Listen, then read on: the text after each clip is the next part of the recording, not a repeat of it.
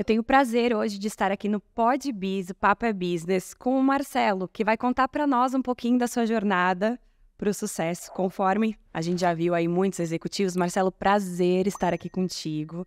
Espero que, enfim, você se abra aqui conosco para desvendar um pouquinho dos mistérios do teu sucesso. Vamos lá, eu que agradeço a oportunidade, Luciane. E para mim é sempre muito legal tentar contribuir de alguma forma, né? Um pouquinho da experiência de vida que eu tenho para quem está buscando um algo mais. Bacana. Marcelo, voltando um pouquinho para o Marcelo não executivo. Existiam algumas inspirações na sua casa, na sua escola? Como é que foi esse projeto de construção é, do Marcelo executivo? Esse, essa é uma história bastante interessante, né? Primeiro porque eu, na época do colégio, eu queria porque queria ser engenheiro, né? Meu pai, tio, ou seja, família de engenheiros, então era o modelo que eu tinha. E dentro do colégio, da escola, nas matérias, as, as, ciências exatas era onde eu acabava me destacando mais. Então eu, ah não, vou ser engenheiro e pronto, né? Tá resolvido. Uhum. E aí meu pai me chamou e falou assim: não, não, não, não, não, vem cá que eu vou.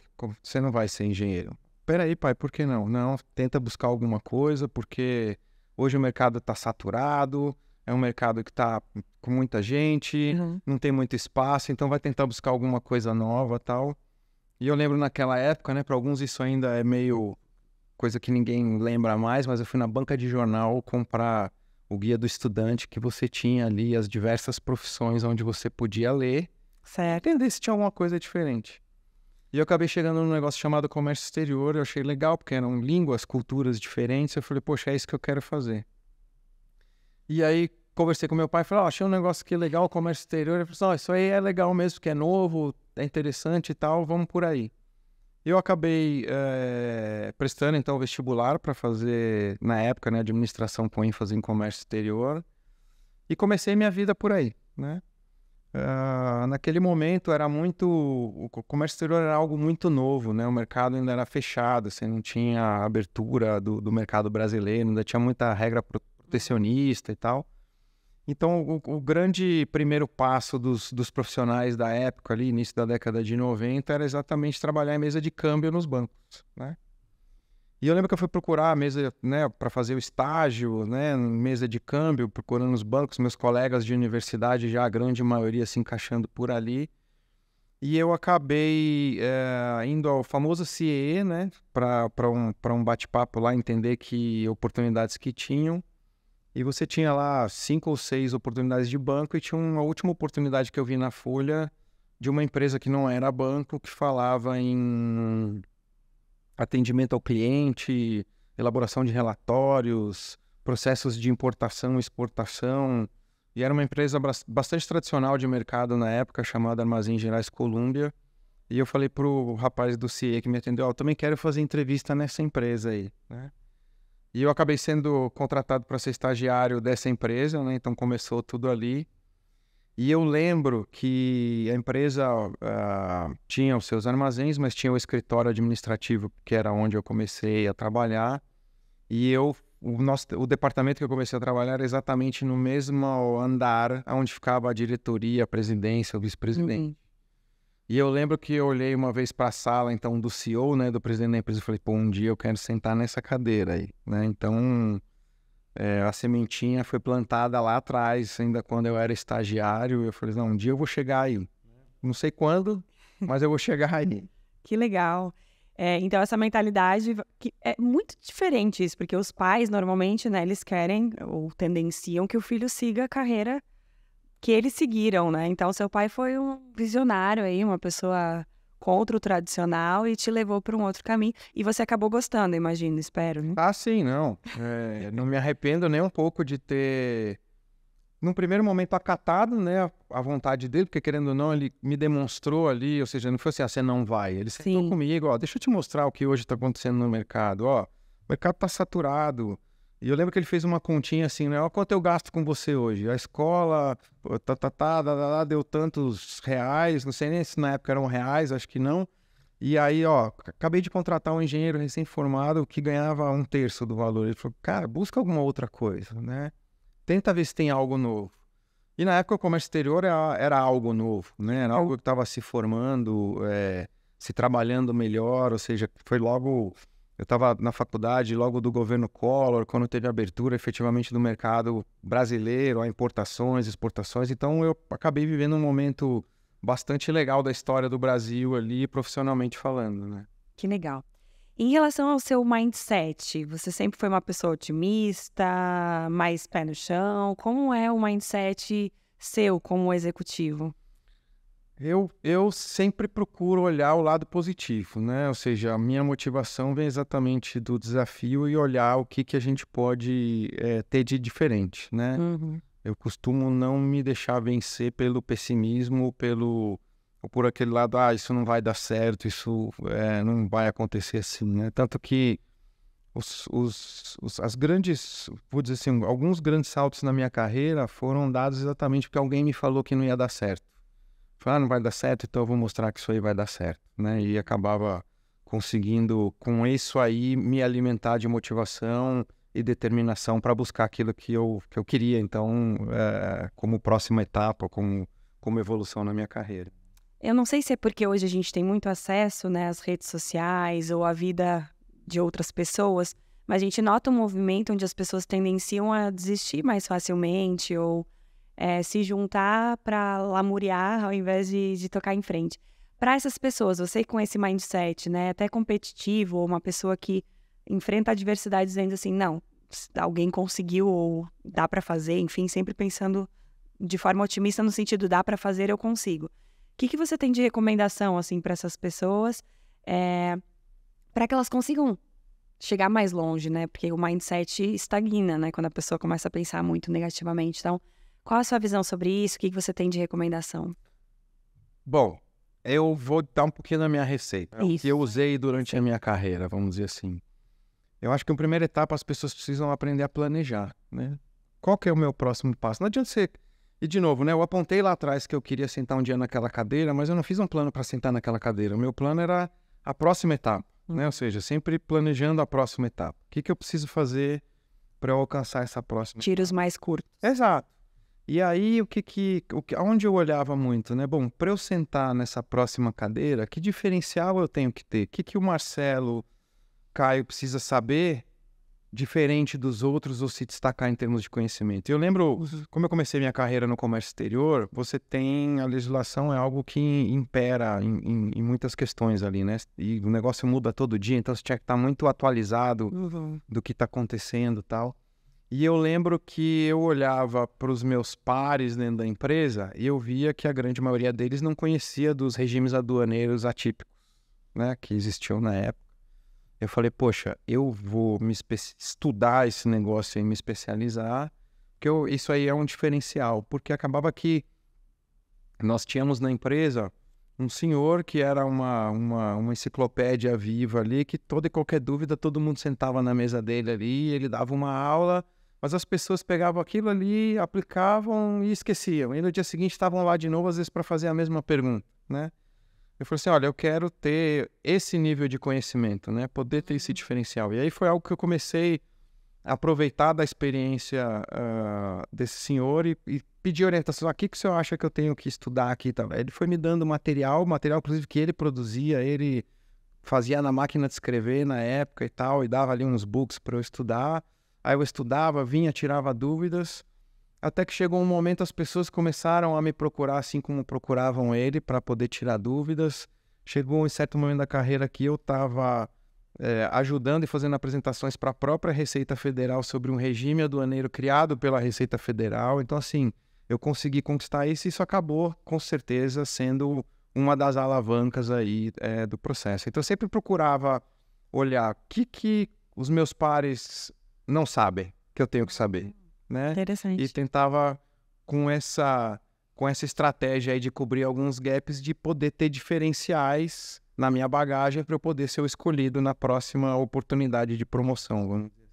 Né? Legal, então planejar e observar o ambiente ao redor para ver onde é que estão os elos fracos para que você se especialize nisso. Exato, porque o que eu olho hoje muito do, do, do que é mais cotidiano, as pessoas tendem a, a desistir mais fácil ou a criticar que não evoluiu, mas eu acho que elas ficam esperando as coisas acontecerem. Né? Uhum. E eu acho que é, as pessoas precisam entender que o dono da sua carreira é você. É você que é o driver ali. É você que direciona, é você que vai virar para a esquerda ou para a direita, né? Sim. E hoje o que acontece no momento de frustração, as pessoas tendem a, a culpar o terceiro, o próximo, a empresa que ele está trabalhando, que não deu oportunidade. Enfim, eu acho que é, o profissional, né, ele precisa entender que quem está ali no, na cadeira do motorista da carreira é ele, não tem outra pessoa. É ele que vai direcionar o que ele quer fazer, para onde ele vai, o que ele quer, né, como próxima etapa. O resto é consequência. Exato. Bacana. Você comentou desse senhor enciclopédia viva. É, existem outros mentores na sua carreira que te ajudaram de alguma forma ou te incentivaram ou indiretamente foram motivadores do seu sucesso? Ah, sim. Eu tive algumas pessoas, não foram poucas, né? Acho que quando eu comecei lá como estagiário, né? A primeira pessoa que foi, uma, foi a minha mentora, né? Foi a minha chefe que foi a, a Vera. A Vera foi, foi minha chefe, ela que foi me ensinando muita coisa, me orientando. Ela era muito técnica, né? Dava sempre o, ó, esse é o caminho, né? Mas olha, pensa em fazer isso aqui. Me dava muita liberdade também para eu poder. Uhum. Então a gente trocava muita figurinha e ela, né, foi a primeira pessoa ali é, que acabou sendo uma referência para mim né? Muito competente, estudiosa e tal. Aí depois eu fui tendo outras pessoas, né, que acabaram sendo é, fatores de onde eu olhava ali e falei, pô, eu quero ter essa característica, gostaria de performar assim, né? Então, dá para eu citar aqui uns 10 nomes, mas teve o Omar, o Werneck, Nelson Cajado, entre outros aí do mercado, na época nossa ali de logística e comércio exterior, que eram, sempre foram referências, né? Então, Sim. eu acabava sempre olhando para esses profissionais, assim, deixa eu olhar o que, que esse cara faz de, de melhor, né? Eu quero tentar absorver isso. Algumas vezes, o que, que esse cara não faz que eu não acho legal para eu tomar cuidado e não fazer também? Então, para você sempre ir ponderando e olhando, sempre foram pessoas que nas nos momentos mais difíceis assim de tomada de decisão, vou para a direita ou vou para a esquerda, né? Tive uma oportunidade aqui, eu tenho lá, eram, são pessoas que até hoje eu sento para bater um papo, conversar e falar assim, bom, o que, que você acha dessa oportunidade aqui? Enfim, então... Levou para vida. É, conhecem aí minha carreira e os passos que eu venho dando é, super bem, porque eu estou sempre ali os provocando e me dá inputs do que, que do que, que seria legal ou não, tal, na, na, visão, na opinião deles, né? É, eu pergunto porque, assim, no Podbiz a gente está dando acesso a CEOs, a executivos de alto nível, como você, é, mas a, quando a gente diz assim para a pessoa, cuidado com quem você investe seu tempo, ou, ou, cuidado com quem você se cerca, a pessoa, de repente, está num ambiente tão remoto, assim, remoto no sentido, está lá no interior de algum estado e não tem alguém onde se inspirar.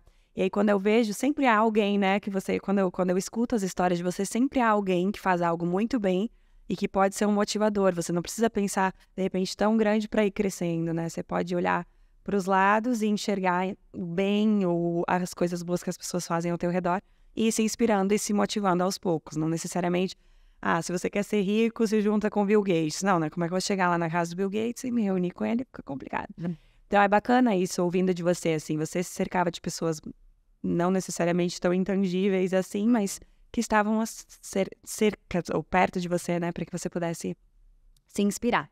É, falando agora um pouquinho de hábitos. Marcelo tem hábitos, rotinas? Olha, eu não gosto de rotina. Não gosto de rotina, eu ótimo. De rotina. Eu gosto de cada dia é um problema diferente, né? Gosto de viver o mesmo problema todo dia, né? Mas eu tenho alguns hobbies, né, que me ajudam e que saem do meu. me ajudam a respirar do dia a dia. Sim. Né? Ah, eu tenho meus aviãozinhos de controle remoto. Né? Ah, que legal. É brinquedo de criança grande. Que legal. Então, é um, é um momento que a cabeça desconecta, desliga, é um momento de, de, de introspecção. Espessurização. Exato. Né? Para acalmar e preparar os motores para a próxima etapa, vamos dizer assim. Muitos executivos têm trazido isso, a importância de você saber aproveitar os tempos fora do ambiente de trabalho também, como uma forma de oxigenar as ideias para ter mais sucesso durante o dia a dia, né? Você faz isso também, então? Ah, tem que fazer. Tem que fazer, porque senão você acaba vivendo intensamente 24 horas por dia. Sim. E não é saudável, né? E você aprendeu isso quando? Olha, é, eu aprendi à força. Essa é a grande verdade, né? Eu sempre até um certo momento da minha carreira, eu era aquele cara que vivia 24 horas por dia a empresa, os desafios, e, e, e falo porque isso não é saudável, né? Porque tem horas que você precisa se afastar para depois chegar e, e, ter uma outra ótica, uma outra forma de enxergar aquela situação e o problema, ou o que quer que seja, né? É, e eu não era assim. E eu acabei tomando uma porrada da vida, literalmente. Eu tive um tempo afastado por uma questão é, de saúde, uhum. e foi a hora que eu reaprendi, me reprogramei a ter um estilo diferente do que eu tinha até então. E a produtividade se mantém igual? Vou te falar que melhorou. Até melhor. Melhor, porque você, nos momentos que você acaba se afastando um pouquinho, né, utilizando o seu hobby, seja ele qual for, né? Tem gente que gosta de ler o livro, ir ao cinema, ou seja, tenha uma atividade, seja ela qual for, que faça sentido para você e que te agrade, né?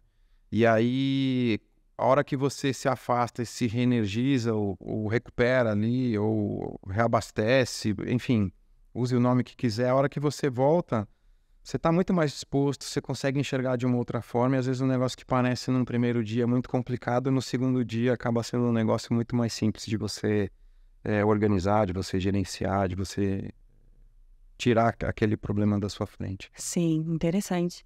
É, indo para a linha de, de sucesso, que a gente, que eu tô, nota que eu falo essa palavra muito, porque para mim você é um executivo exemplar, uma pessoa com a qual as pessoas deveriam né, se inspirar. Então, por isso que eu falo sucesso. Então, eu olho para você e vejo um executivo de sucesso. Mas o que, que é sucesso para você, Marcelo? O que é Primeiro, obrigado. Você me deixou até constrangido ah, aqui. Né? Ficou vermelho, gente. Tô brincando. Eu acho que o sucesso, Luciana, é, cada um tem o seu, né? É, depende do tamanho da sua ambição, depende do plano que você fez. Né? Para algumas pessoas, o sucesso é estar em casa, tendo qualidade de vida. Sim. Eu.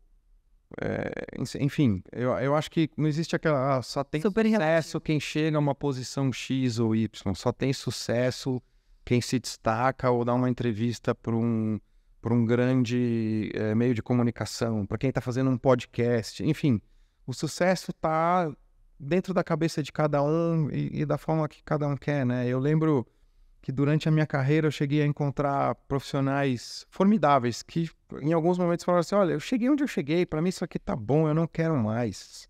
Uhum. Eu não quero mais, porque para mim eu, eu gosto disso aqui, eu gosto daquilo ali, eu quero ter tempo para isso ou ter tempo para aquilo, né? Querendo ou não, se você fala, ah, não, meu sucesso é só se eu chegar naquela cadeira, na cadeira do CEO ou do, ou do presidente do conselho, você tem que investir para chegar lá, não é algo que acontece, né? Uhum. Então, o sucesso está dentro de cada um, é daquilo que você determinar, e, e, o sucesso pode ser até por etapas, né? Olha, cumprir com, com a primeira etapa aqui, pô, por que não? Tem que celebrar, tem que comemorar, e isso faz parte do sucesso. O sucesso não está só no fim, né?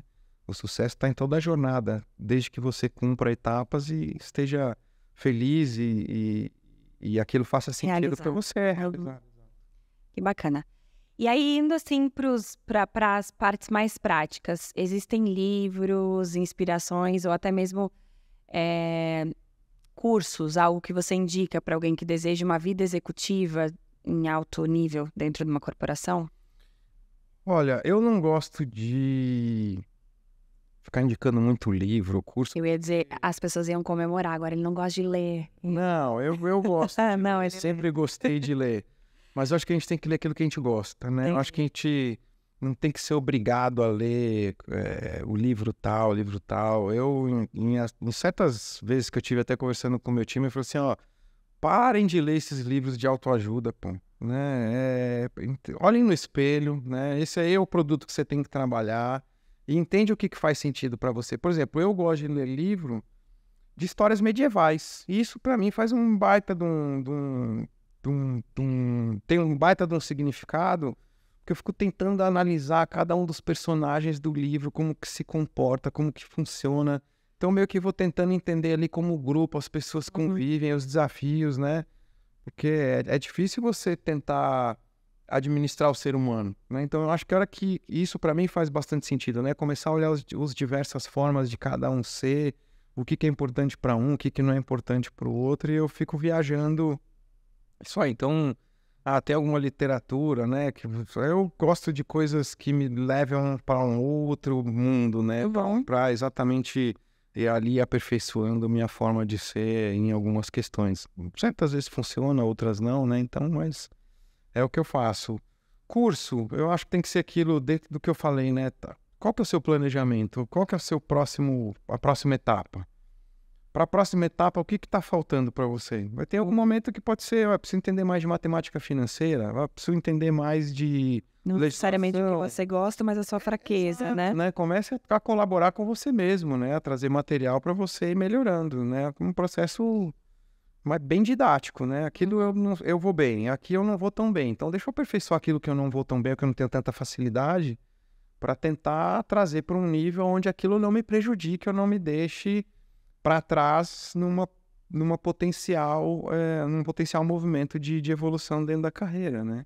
Você fez, além de comércio exterior, imagino que outros... É, eu fiz administração com comércio exterior, depois eu fiz é, marketing, fui, sou pós-graduado em marketing internacional hum. e também em logística, né? Legal. Primeira vez, de, quer dizer, até agora, né, no Podbiz, pelo menos, um CEO com marketing.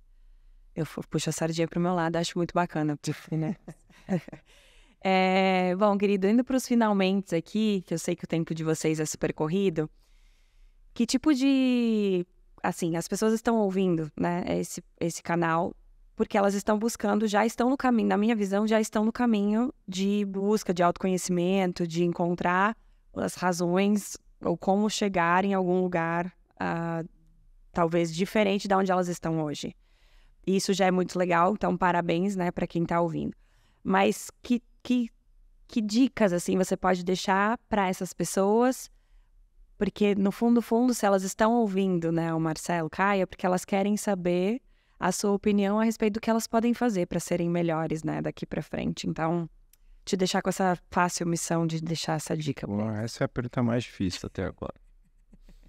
A gente guarda o melhor. Bom, sempre tem, né? Eu, eu colocaria o seguinte, Luciana: as, as pessoas primeiro precisam entender que não é fácil. Uhum. Não é fácil, né? Você querer evoluir na sua carreira, você ir alcançando maiores responsabilidades. Eu falo que eu tenho muita saudade da época que eu era estagiário, né?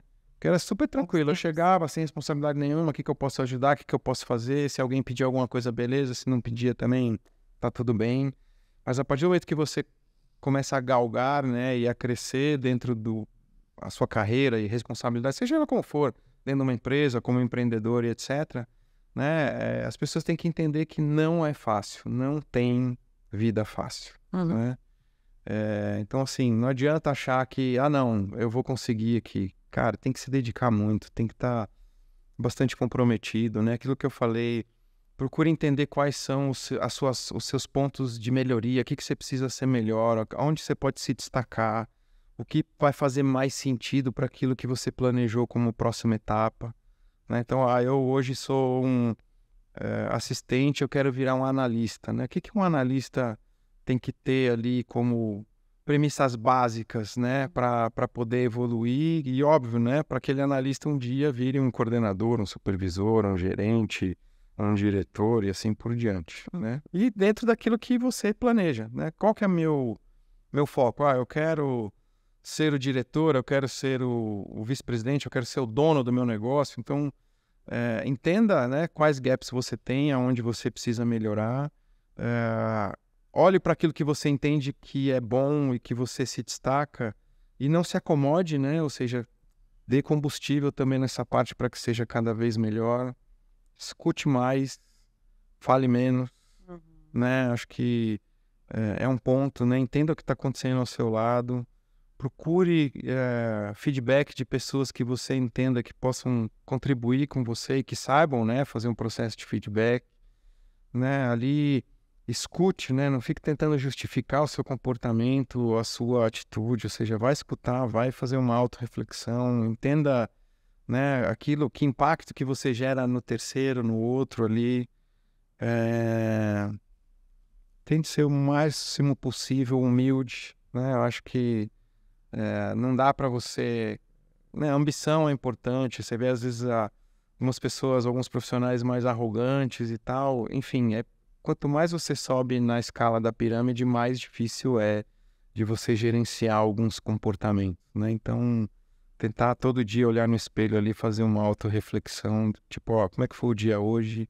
Eu, eu, eu cumpri com o meu propósito, com a minha proposta, né? Onde eu falhei, o que, que eu posso melhorar, é, onde eu acho que eu fui bem, que eu consegui tirar aquilo que eu gostaria. Uhum.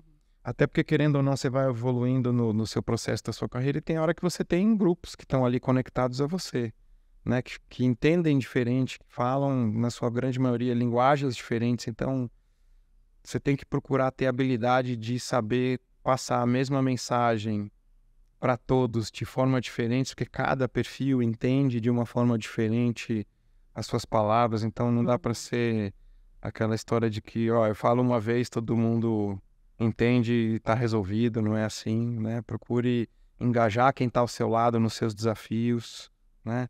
Procure se cercar de pessoas competentes. E um outro ponto, né? Não ache que você vai ser o cara que vai conhecer de tudo. Né? Você tem a sua área de destaque, a sua área de conhecimento. Em outras, você vai depender de outros. Então, busque trazer para essas áreas às quais você não é o grande especialista e não vai ser, porque não adianta, você não consegue ser o grande especialista em tudo. Hum. Pessoas que possam contribuir no seu processo e que vão estar tá ali formando o seu time. Sensacional, viu? Muito bacana, deu uma aula aqui pra gente. É... E de bônus, eu queria saber como você foi parar na Brinks. Quantas pessoas você lidera e gerencia hoje? Como foi essa tua jornada para chegar como CEO? Nossa, você sabe que para chegar na Brinks é uma história bastante interessante que uhum. eu costumo contar para todo mundo, inclusive internamente aqui na Brinks. Eu estava num momento de transição de carreira, né? Eu liderava uma multinacional também aqui no Brasil, na parte de, de freight forwarding, né? agenciamento de carga e logística internacional. E aí eu estava buscando algumas outras oportunidades e aí acabou aparecendo o processo da Brinks, dentre outros ali, né? E eu lembro que eu cheguei para minha esposa e falei assim: "Ah, não, esse negócio de carro forte e gente armada não é o que eu quero, né? Eu quero uma outra coisa". E realmente tinham outras oportunidades ali é, no meu radar, vamos dizer assim, que pareciam até então ser mais interessantes.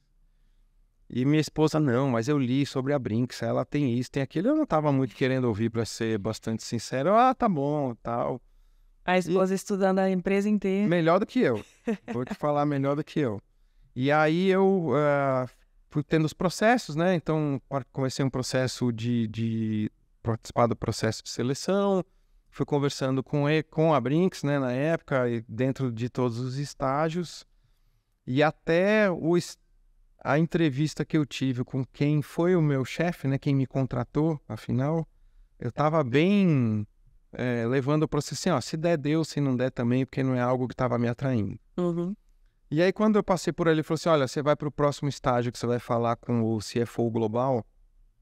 E aí eu falei, puxa, agora eu preciso dar uma estudada para poder ter um debate um pouco mais é, rico, né, vamos dizer assim. Uhum. E aí eu até falei para ela, falei assim, escuta, onde que você pesquisou aquelas informações? Ah, tá aí na internet e tal. Aí eu entrei e fui fazer minha lição de casa ali, entender um pouco melhor. E aí eu enxerguei a Brinks que eu não estava vendo, que é, na verdade, o que todo mundo hoje vê, né? Todo mundo fala em Brinks, você enxerga o quê? A primeira coisa é o carro forte. Esse é o símbolo, né? Tá aqui e, e, e todo mundo vê. E aí você, e ali eu tive a oportunidade de entender que a Brinks não é só o carro forte. Hum. Né? Ela estava passando por um, começando ali um, um processo, um movimento de transformação do negócio, de evolução em outros produtos, né? É, e eu falei, poxa, isso, opa, né? Aí me chamou a atenção. E como eu falei para você que eu não gosto de rotina, esse negócio de falar de transformação, de mudança, de fazer o diferente, aí me conectou na hora. E, e, essa entrevista com esse CFO global, eu falei que não foi uma entrevista, foi quase que um bate-papo. Faltou só a gente abrir uma garrafa de vinho uhum. e tomar um vinho juntos, porque a gente passou três horas e meia conversando. E ele abriu ali, ó, que pergunta você quer fazer, o que, que você quer entender e tal. E aí eu fui colocando todos os pontos daquilo que eu tinha lido, do que eu tinha visto, né, das informações. É, inclusive também entendendo a questão de evolução de valor de ação, o que estava sendo feito, qual era o objetivo e tal. E aquilo, nossa, eu fiquei. A hora que eu terminei aquele bate-papo, eu saí ali, falei pra minha esposa: ó, é ali que eu quero trabalhar, né? Ela viu, falei pra você e tal, foi uma história. E aí eu fui para uma última entrevista que era com o CEO Global. E, a, e diferente dessa entrevista do CFO, a com o CEO Global demorou 25 minutos. Aí eu terminei a entrevista e falei, putz, só porque eu me empolguei, só porque agora eu achei que era o que eu queria, né? E estava mais é, conectado à oportunidade, não vai rolar, né? Mas aí acabou rolando, eu tô aqui, né? Já faz mais de três anos que eu tô aqui. E o que me trouxe a Brinks foi exatamente é, essa possibilidade de contribuir dentro de um processo de transformação que a empresa vem passando, uhum. né? De, de as pessoas, né, de o próprio mercado em, começar a enxergar a Brinks não só a empresa do carro forte, mas que ela também tem o carro forte e as operações de transporte de valor, né? Que a gente hoje tem logística internacional, que a gente faz toda a operação é, de minério, pedras preciosas, produtos de alto valor, Uh, a gente tem uh, a parte de correspondente bancário, a gente tem aceleração de startup. Então, tem uma série de temas aí que hoje a gente trabalha dentro da empresa uh, e que acaba sendo um grande fator motivador, né? Às vezes as perguntas, as pessoas chegam para mim e falam assim, nossa, mas o Pix, a digitalização, vocês vão deixar de existir? Falei, não, nós estamos trabalhando exatamente para nos posicionar de uma outra forma, né? para a gente poder estar tá, dentro desse mercado cobrindo com alguns gaps que ainda existem e vão continuar existindo né, dentro do que a gente tem mapeado. Então, acabei chegando na Brinks porque minha, minha esposa me impulsionou, vamos dizer assim, e, e depois enxerguei realmente o, o, momento que a empresa estava passando e que fazia total sentido para aquilo que eu gosto de fazer. Né? Então, e tô aqui, né? Vamos lá, vamos em frente, bastante desafio, bastante coisa para fazer. Como eu disse, não tem nada fácil. Muito bacana. Uma das características mais citadas, assim, indiretamente, não foi citada premeditadamente, mas que está aí incumbida no seu discurso é a pessoa tem a inquietude e ela é muito camaleão. Ela está sempre se adaptando às novas realidades, aos novos negócios. Então, é uma das características que eu vejo muito em executivos de sucesso. E é essa, esse desejo de fazer algo diferente do tradicional que surge ali é, diferente do comodismo, diferente do quero ficar preso na minha zona de conforto. Então, muito legal esse novo caminho da Brinks, né? Eu venho acompanhada aí há uns três anos, descobrindo, inclusive, várias coisas novas. Inclusive, tudo que ele citou ainda tem mais, tá? É, então, acho que é sem fim, né? Para vocês trabalharem com equipes multidisciplinares aí, então, um caminho bastante interessante. Então, meus parabéns, Marcelo. E eu queria te agradecer imensamente pelo seu tempo, que eu sei que é escasso e difícil, né? É, mas muito obrigada por ter contribuído, por ter falado um pouquinho com o pessoal que está buscando galgar esse caminho de sucesso. Não, eu que agradeço a oportunidade de novo, poder dividir um pouquinho é, do que eu já vivi. Eu estou à disposição, né? Espero que as pessoas possam pensar uma coisinha ou outra e usar na vida delas, que eu acho que esse é o... Não, no último eu fiquei sem palavras ali. Você falou, ah, é difícil, aí começou a dar uma aula, uma lição. Eu falei, meu Deus, gente, que isso, hein? Fiquei sem palavras. Meus parabéns e muito obrigada. Eu que agradeço. Né? Um beijo para todos aí. Obrigado.